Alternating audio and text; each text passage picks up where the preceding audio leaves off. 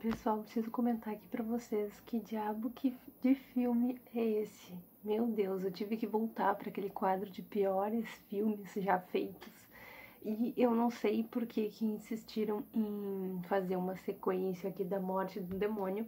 E se não fosse suficiente ter feito essa sequência, ainda fizeram uma, uma terceira sequência e alguns remakes, né? E agora para 2023 tá saindo uma outra coisa e todos são com o mesmo ator que agora tá bem velhinho do Ash. Eu achei isso muito engraçado, porque hum, o primeiro filme não tem muita lógica, né? E termina de uma maneira assim que tu não consegue entender assim muito o que, que aconteceu, se o Ash ficou ou não com alguma coisa, enfim, não, não dá para ter muita certeza. Só que é, quando o 2 começa, a gente pensa que é uma continuação do primeiro, principalmente por ter o Ash, mas a gente vê que ele tá com uma outra moça ali e ele tá agindo como se não conhecesse nada ali na casa.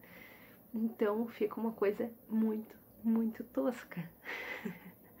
muito tosca. E o que vai acontecendo assim só piora.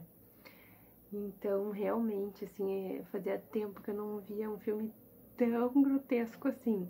E o final eu vou contar aqui porque eu acredito que ninguém vá assistir esse filme em 2022, que ele consegue, na verdade, ele é teletransportado no portal lá do demônio para um tempo medieval, que aí ele vai ter que matar no 3 os demônios de lá.